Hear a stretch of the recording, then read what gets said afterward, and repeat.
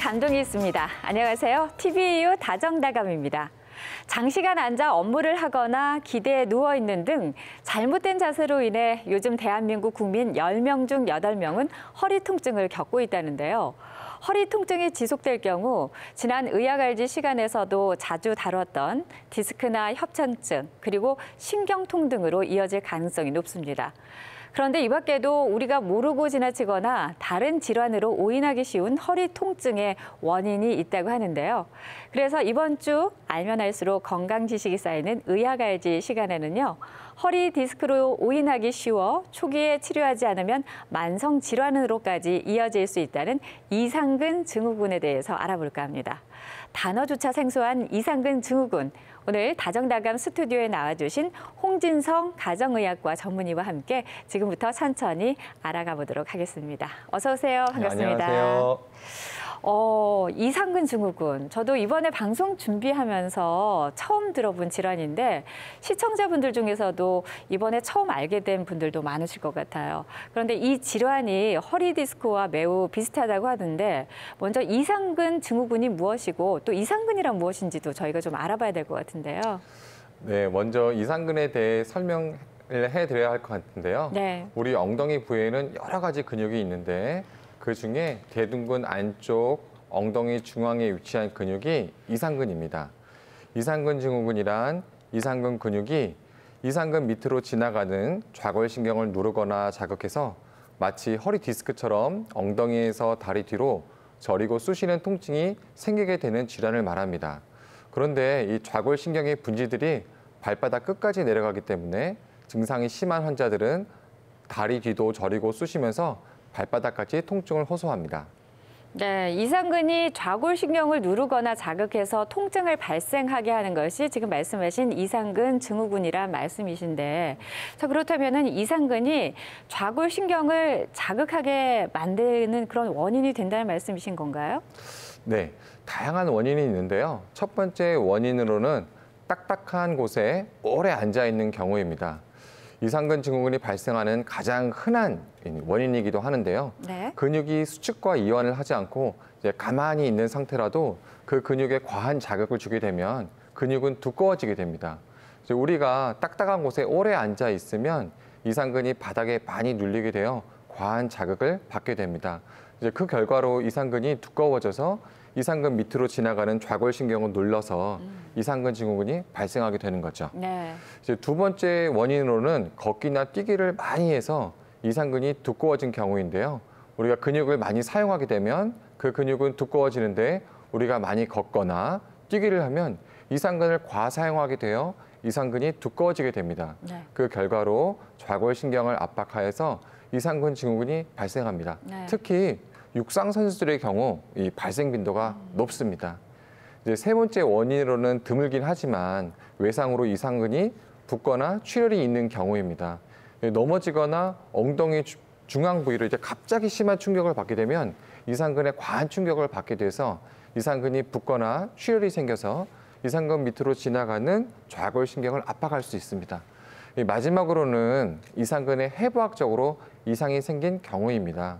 원래 좌골신경은 이상근 밑으로 지나가는데 해부학적 이상으로 좌골신경이 이상근 중앙을 통과하는 경우가 있습니다. 네. 그럴 경우 좌골신경이 이상근 근육 사이에 끼어서 음. 예, 신경이 끼다 보니까 예, 좌골신경이 눌리게 됩니다. 네. 그 결과로 이상근 증후군이 발생하게 되는 거죠. 네.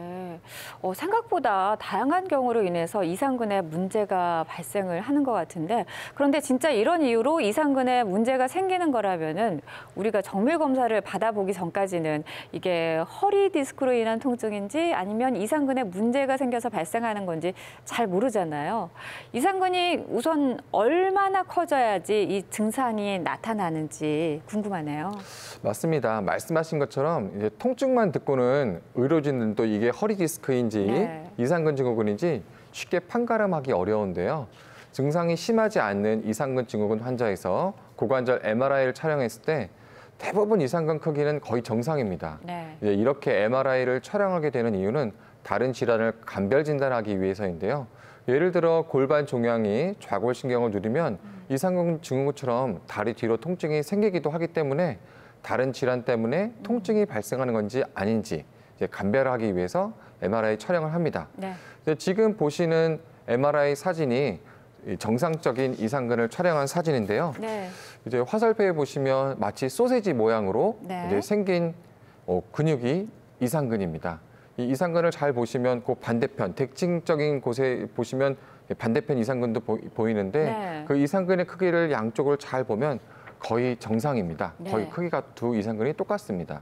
그러나 증상이 매우 심하거나 이상근 증후군 유병 기간이 오래된 환자에서 MRI 촬영하게 되면 이상근 증후군이 이상근이 두꺼워지거나 염증이 있는 소견을 관찰할 수 있습니다.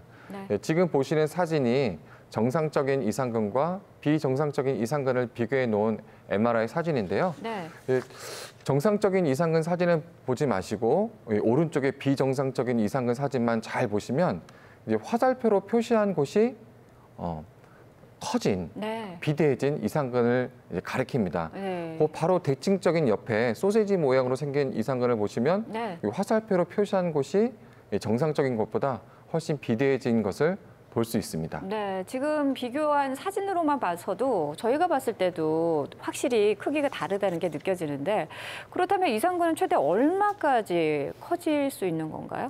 네, 이상근의 정상 길이는 논문마다 조금씩 차이는 있으나 대략 1.3cm에서 2.1cm 정도입니다. 네. 그런데 이상근 증후군을 증상을 겪고 있는 환자 중 최대 3.2cm까지 커진 환자가 현재까지 있다고 보고되고 있습니다. 네. 수치로만 들었을 때는 아주 커지기보다는 어, 어, 정상 크기보다 조금 커졌다 이렇게 생각이 들 수도 있는데 몸에서 느끼는 영향은 그리고 상당한 고통이 따를 수 있다는 말씀이신 것 같습니다. 그렇다면 이상근 증후군이 주로 발생하는 연령대나 혹시 대상이 있을까요? 네, 유병률 보고 자료에 의하면 이상근 증후군은 4, 50대에 발병하는 경우가 많고 이제 남자 여자 비율로 따지자면 여성의 골반 모양이 남성과 다르기 때문에 네. 여성에게서 세배 정도 많이 발생한다고 나와 있습니다. 하지만 제가 지금까지 진료 현장에서 만나본 환자로 따지자면 이제 20대에서 80대까지 네. 다양한 연령대의 환자분들에게서 이상근 증후군을 발견할 수 있고 실제로 이 남자와 여자의 차이도 크지 않습니다. 그렇지만 이제 한 가지 확실한 건 많이 앉아서 오래 앉아서 일하는 직업군에서 호발합니다. 네. 그만큼 이제 앉아 있는 동작이 이상근에 무리를 준다고 생각하시면 되겠습니다. 네. 지금까지 이상근 증후군에 대해서 이야기를 쭉 들어보니까 발생하는 부위는 전혀 다른데 통증은 허리 디스크와 비슷해서 증상을 잘못 알고 치료를 받는 경우도 많이 있을 거라는 그런 생각이 드는데요. 이상근 증후군과 허리 디스크 어떤 차이점이 가장 클까요? 네, 말씀하신 것처럼 이상근 증후군은 허리 디스크와 증상으로만 비교했을 때 감별이 매우 어렵습니다. 거의 증상이 똑같다고 생각하시면 되겠는데요. 두 증상의 차이점에 대해 설명하기에 앞서서 먼저 허리 디스크에 대해 간단하게 예, 설명해 드리겠습니다. 네. 이 디스크는 요추 뼈와 뼈 사이에 위치하고 있는 탄성이 매우 좋은 조직입니다.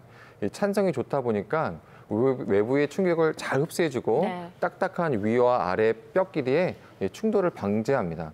우리가 점프를 뛸 수 있는 이유도 이제 허리에 디스크가 있어서 충격을 완화시켜 줄 수 있기 때문인데요. 네. 이 디스크가 없으면 아마 뼈와 뼈끼리 부딪혀서 엄청난 통증이 발생해서 이 점프를 이 뛰기도 힘들 것입니다. 네. 근데 이런 디스크가 나이가 들어 예, 퇴행성 변화가 진행한다든지 갑작스럽게 허리에 충격을 받는다든지 좋지 않은 생활 습관이 계속되면 디스크에 압력이 많이 가해져서 디스크가 뒤로 튀어나와 디스크 뒤에 있는 신경을 누르게 되고 그로 인해서 다리가 저리고 당기는 예, 방사통이라고 하죠. 그런 쑤시는 방사통이 생기게 됩니다. 이상근 증후군의 경우에는 이상근이 커지면서 예, 좌골 신경을 누르게 되는데 그 과정에서 엉덩이에서 다리 뒤 또는 발바닥까지 통증이 발생하게 됩니다. 네. 이 허리 디스크와 이상근 증후군을 감별하는 방법을 이 표로 정리해서 쉽게 설명드리자면 이상근 증후군은 주로 앉아 있을 때 통증이 악화되고요.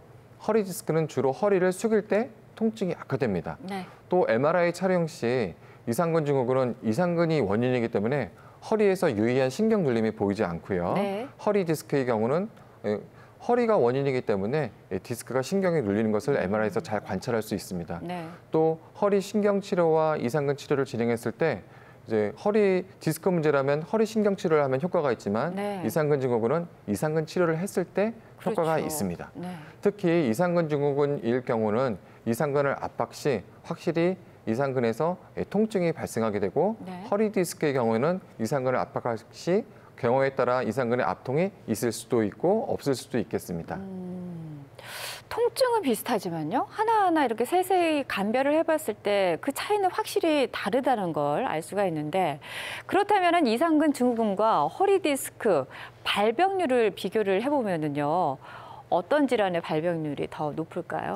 네, 아무래도 허리 디스크의 발병률이 훨씬 더 높습니다. 왜냐하면 이 디스크는 탄성이 좋은 조직인데 네. 퇴행성 변화 또는 좋지 않은 생활 습관이 유지되면 디스크가 쉽게 뒤로 튀어나와서 신경을 누를 수 있기 때문에 디스크의 이 허리 디스크의 발병률이 매우 높습니다. 네. 그에 반해서 이상근 증후군은 사람마다 조금씩 차이는 있지만 정말 오랜 시간 앉아 있어야 이상근이 두꺼워지면서 증상을 일으킬 수 있습니다. 네. 그래서 논문마다의 차이는 있지만 30배 정도 허리 디스크의 발병률이 높다고 알려져 있습니다. 네.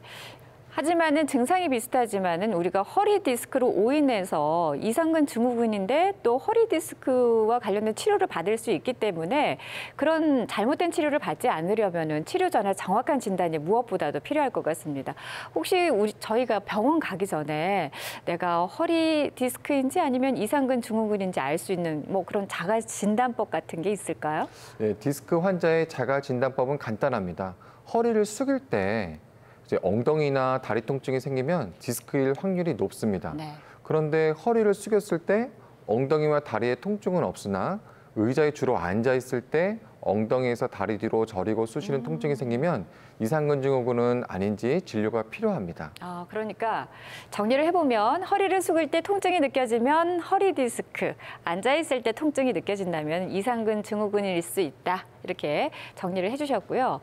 허리부터 다리까지 통증이 느껴져서 자가 진단법 혹은 우리가 병원을 방문해서 검사를 받았는데 이상근 증후군이라고 판명이 났습니다.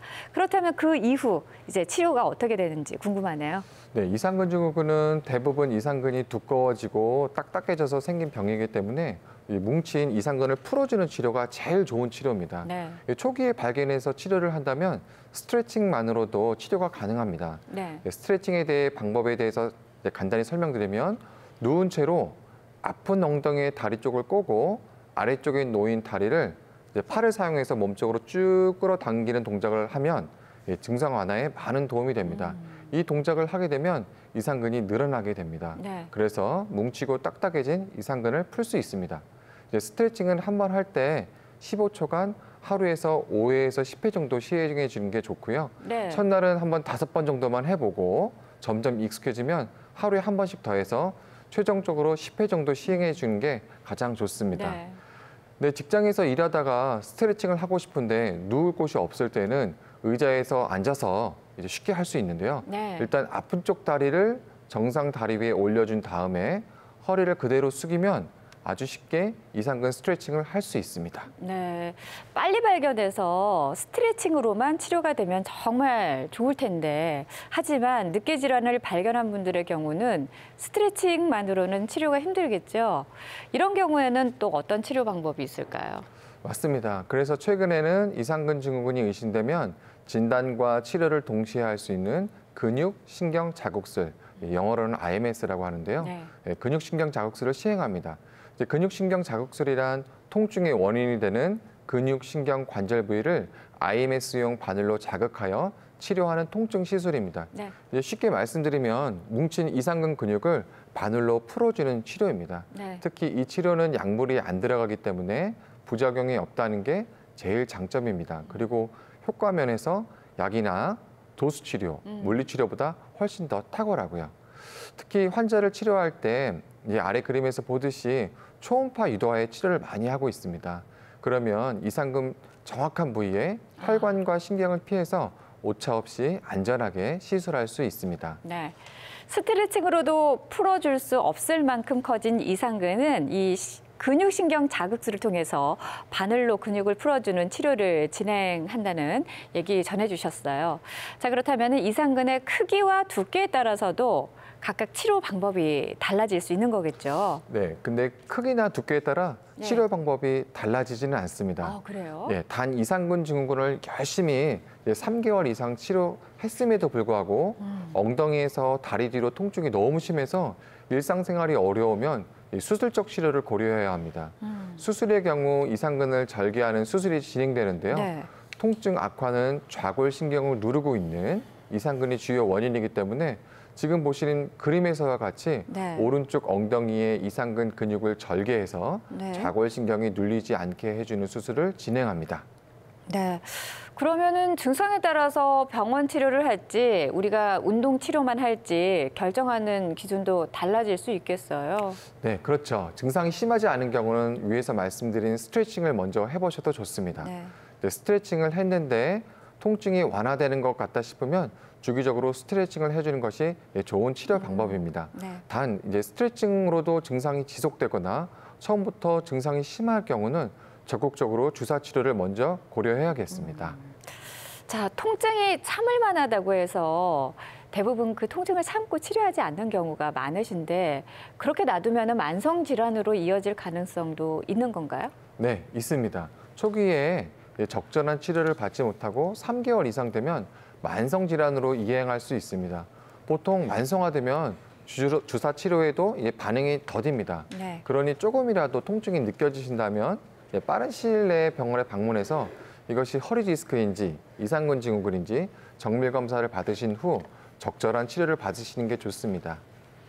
네, 지금까지 이상근 증후군이란 무엇인지 허리 디스크와의 차이점 그리고 치료 방법에 대해서 알아봤습니다. 생소한 질환인 만큼 이상근 증후군에 관한 다양한 이야기들도 많이 있는데요. 그래서 이번에는 이상근 증후군에 관한 오해와 진실에 대해서 자세히 알아보도록 하겠습니다. 자, 저희가 내용을 준비를 해봤는데요. 첫 번째 내용부터 한번 알아보도록 하겠습니다. 이상근 증후군에 관한 오해와 진실. 첫 번째 오해와 진실은 이겁니다. 엉덩이 주사를 잘못 맞으면 이상근 증후군이 발생할 수 있다. 예, 이거는 오일까요, X일까요? 네, 오입니다. 어, 그래요. 네. 예. 보통 엉덩이 주사는 엉덩이를 정확히 이제 네 등분했을 때 네. 위쪽 바깥쪽 4분의 1 부위에 맞는데요. 네. 엉덩이 중앙에 주사를 놓을 경우 이 이상근을 찌를 수 있게 됩니다. 음. 네. 그러면 이상근이 부을 수 있어서 음. 이 붓게 되면 또 밑에 내려가는 좌골신경을 압박할 수 있어서 네. 이상근 증후군이 발생 가능합니다. 네. 자, 그러면 주사로 인해서 이상근이 만약에 부을 경우에는 이럴 때는 치료를 어떻게 하는 건가요? 예, 그 경우는 3일간 보통 냉찜질하고 네. 진통 소염제를 이제 3에서 5일 정도 복용하는 것이 좋습니다. 네. 근데 실제 의료 현장에서는 이상근 부위는 굉장히 깊숙한 곳에 있기 때문에 네. 우리가 근육 주사를 이제 놓을 때는 굉장히 표층 근육에 놓기 음. 때문에 실제로 이런 일이 생기는 경우는 거의 드뭅니다. 아, 그렇군요. 자, 그렇다면은 두 번째 오해와 진실 알아보도록 하겠습니다. 엉덩이가 큰 사람은 이상근이 크다. O일까요? X일까요? 아, 요 경우는 세모인데요. 네. O일 수도 있고 X일 수도 있습니다. 어, 근데 저희가 대부분 생각하는 건 엉덩이가 크기 때문에 근육도 클 거다 이렇게 생각하는데 엉덩이가 크다고 해서 근육까지 항상 다 큰 건 아닐 수도 있다는 말씀이신 건가요? 예. 이상근의 크기는 비만도에 비례합니다. 네. 비만도를 측정할 때는 체질량 지수 BMI를 사용하는데 몸무게를 키의 제곱으로 나눈 값입니다. 이 비만도가 크면 이상근이 큽니다. 그러니까 비만도에 따라서 이상근이 커질 수 있다는 것 꼭 기억하시길 바라겠고요. 마지막 오해와 진실 알아보도록 하겠습니다. 파스를 붙이면 통증을 줄이는데 도움이 된다. 글쎄요, 이상근에 파스를 붙이면 도움이 될까요? O일까요, X일까요? 예. X인데요. 네. 이제 진통 소염제 파스가 네. 통증 완화에 일시적인 도움을 줄 수는 있지만 네. 궁극적인 이 치료의 방법은 아닙니다. 네. 자, 파스는 이상근 증후군을 치료하는데 큰 도움이 되지 않는다고 하니까요. 엉덩이 부근에 통증이 느껴지신다면 바로 병원 방문해서 예, 전문의와 함께 의견을 나눠보시는 것이 좋겠습니다. 자, 오늘도 역시나 다정다감해서 많은 분들께서 이상근 증후군에 관한 궁금증이 담긴 사연 보내주셨는데요. 저희가 소개해드리도록 하겠습니다. 첫 번째 에, 사연입니다. 며칠 전부터 왼쪽 다리가 심하게 저리고 왼쪽 엉덩이와 그 앞부분이 펼 수도 없을 만큼 많이 아픕니다. 증상을 찾다 보니 만약 허리 디스크라면 다리를 70도 이상 못 올린다고 하더군요. 하지만 저는 그것은 가능하고요. 왼쪽 엉덩이부터 저리고 아픕니다. 검색해 보니 이상근 증후군이라는 게 있던데 제가 이게 이상근 증후군일까요? 그리고 이상근 증후군이 맞다면 병원은 신경외과로 가야 하는지 정형외과로 가야 하는지도 궁금합니다. 라며 보내주셨네요. 예. 네, 이상근 증후군은 보통 엉덩이에서 다리 뒤로 아픕니다. 네. 그런데 이 사연을 보내주신 분은 엉덩이의 앞부분, 즉 서해부죠. 네. 이 서해부가 이제 필 수도 없을 만큼 많이 아프다고 하셨는데 이상근 증후군은 서해부 증상을 일으키지는 않아서 어. 이상근 증후군일 가능성은 많이 떨어집니다. 네. 일단 서해부가 아프다면 자가 검사하는 간단한 방법이 있는데요. 서해부가 아플 때 어, 동측의 다리를 양반 다리를 해봤을 때 서해부 통증이 유발된다면 고관절 통증일 가능성이 크고 네. 양반 다리 했을 때이 서해부가 아프지 않고 어, 상- 어, 말씀하신 그런 증상이라면 네. 디스크일 가능성이 훨씬 더 높습니다. 아. 디스크 환자들도 디스크가 튀어나온 이 방향이나 이 사이즈에 따라서 다리를 못 올리는 경우도 있지만 네. 다리를 잘 올리는 경우도 많습니다. 음, 그렇다면 마지막 질문 있었잖아요. 이런 증상이 느껴질 경우에 병원은 신경외과로 가야 되는지 정형외과로 가야 되는지 어떤 과를 가서 진단을 받는 게 좋을까요? 네, 서해부가 아픈데 양반 다리 했을 때 그 서해부의 통증이 유발된다면 고관절 질환일 가능성이 커서 네. 정형외과로 먼저 가셔야 되고요. 아, 양반 다리 시 서해부 통증이 없다면 디스크일 가능성이 더 커서 신경외과에 먼저 진료 보시길 추천합니다. 네. 자, 그렇다면은 예, 통증이 어떤 부위에 따라 발생하는지 가야 할 병원들이 달라진다는 것 꼭 기억하시고 현재 통증이 어떤 부위에 더 많이 느껴지는지 판단을 하시는 것이 좋겠습니다. 자, 다음 사연 살펴보도록 하겠습니다. 안녕하세요. 사무직 일을 하고 있는 30대 여성입니다. 직업 특성상 앉아서 일하는 시간이 많다 보니 평소 허리가 좋지 않은 편입니다. 허리 디스크인가 하는 생각이 들어서 검색해 보다가 이상근 증후군에 대해서 알았어요. 앉아 있을 때 허벅지부터 허리부터 허벅지, 어떤 때에는 종아리까지 저릿한데 문제는 누워도 통증이 사라지지 않는다는 거예요. 제 증상이 허리 디스크인가요? 이상근 증후군인가요? 하고 문의 주셨나요? 예, 이상근 증후군일까요? 허리 디스크일까요? 네, 증상만으로 이제 허리 디스크와 이상근 증후군을 감별하는 것은 네. 매우 어렵습니다. 네. 왜 증상이 비슷하기 때문인 건가요? 네, 맞습니다. 일단 자가 검사를 추천하는데 허리를 숙였을 때 이 다리 통증이 유발된다면 디스크일 가능성이 있습니다. 네. 그럴 경우 병원에 내원해서 신경 눌림이 있는지 없는지 MRI 검사를 해보시는 것을 추천합니다. 네. 그런데 MRI를 촬영했는데도 신경 눌림이 없다면 이상근 증후군이 있는지 없는지 꼭 생각해 보아야 합니다. 이 다리가 저린 방향도 매우 중요한데요. 엉덩이에서 다리 앞이나 엉덩이에서 다리 외측으로 저리다면 디스크일 확률이 크고 이상근 증후군일 가능성은 음. 떨어집니다. 이상근 증후군은 거의 다 엉덩이에서 다리 뒤로 저리기 때문이, 네. 때문입니다. 그런데 이 요추 5번과 천추 1번 사이의 디스크는 이 엉덩이에서 다리 뒤로 저림 및 통증을 유발할 수 있습니다. 네. 무엇보다도 정확한 진단을 위해서는 병원에 방문해서 정밀 검사를 받아보는 게 가장 좋을 것 같습니다. 지금까지 이상근 증후군에 대해 쭉 들어보니까요. 이상근 증후군을 예방하기 위해선 평소 이상근에 무리를 주지 않게끔 하는 그런 습관을 들이는 게 중요할 것 같은데요. 이상근 증후군을 예방할 수 있는 방법들은 어떤 게 있을까요? 네. 오래 걷거나 뛰거나 또는 딱딱한 물체에 오래 앉아 있으면 이상근이 딱딱해지고 두꺼워져서 그 결과로 이상근 밑을 지나가는 좌골신경을 자극해서 엉덩이에서 다리 뒤로 저리고 쑤시는 증상이 생길 수 있습니다. 네. 그렇기 때문에 제일 중요한 것은 이 앉아 있는 시간을 줄이고요. 딱딱한 곳보다는 푹신한 곳에 앉는 것이 중요하고 네. 이상근 스트레칭을 하루 5회 정도 시행하면 이상근 증후군을 예방할 수 있겠습니다. 특히 오래 앉아 운전하신 직업을 가지신 분들 같은 경우는 이상근 증후군이 발생하는 빈도가 매우 높은데요. 네. 오래 앉아 있으면 이 이상근이 바닥에 눌려서 계속 자극을 받아서 이상근이 두꺼워지고 딱딱해지기 때문입니다. 네. 그렇기 때문에 운전 중간 중간에 이제 휴게소나 졸음 쉼터에 들려서 아까 위에서 설명드렸던 스트레칭을 해주시는 게 좋겠습니다. 네. 이상근이 딱딱해지고 두꺼워지기 쉬운 딱딱한 의자보다는 푹신한 의자에 앉는 것이 중요하고 또 수시로 일어나서 스트레칭을 해주는 게 이상근 증후군을 예방할 수 있는데 큰 도움이 되겠습니다. 지금까지 홍진성 선생님과 함께 이상근 증후군에 대해서 알아봤는데요. 마지막으로 한 말씀 해주신다면요. 네, 오늘 방송을 계기로 많은 분들이 이상근 증후군에 대해서 잘 알게 되셨길 바라고요.